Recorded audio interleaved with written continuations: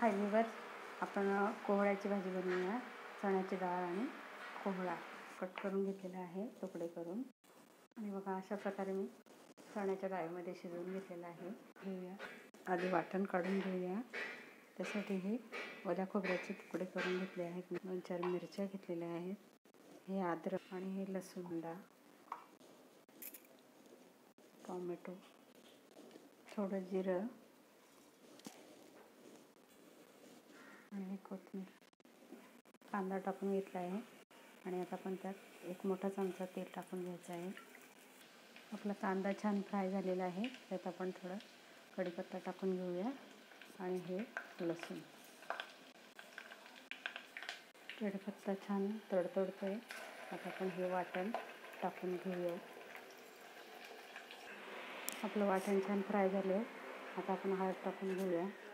त्यानंतर आपल्याला आवडीनुसार तिखट टाकून घ्यायचं आहे.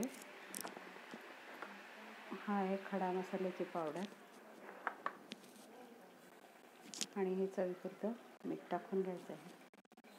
त्यावर आता आपल्याला हे चणा डाळ आणि कोहळा हे ओतून घ्यायचं आहे. आता आपण कोथिंबीर टाकून घेऊया. आणि थोडंसं टॉमॅटो. तर बघा आपली पोळ्याची भाजी छान तयार झालेली आहे. अशा प्रकारे. हे बघा. अशी आपली पोळ्याची भाजी तयार झालेली आहे. तुम्ही पण घरी करून बघा. लाईक करा शेअर करा आणि सबस्क्राईब करायला विसरू नका. थँक्यू सो मच व्हिडिओ पाहिल्याबद्दल.